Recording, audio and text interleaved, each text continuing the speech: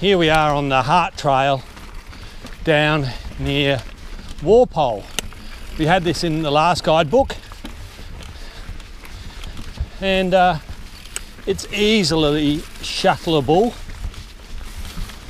with a track running just side it. Oh, there's a little jump there. It's bluey green. We put all the structures are rollable. We've just done one lap down it.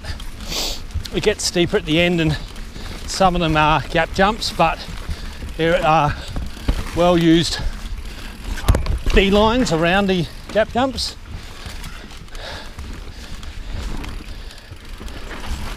Nice little log over. Probably one of these places you want to spring a spare derailleur hanger. It doesn't get that much traffic.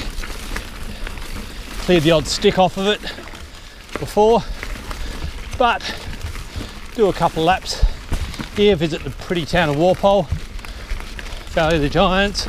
Might be some multi-user trails coming, who knows, but find out that stuff. Check out the mountain bike guidebook.com.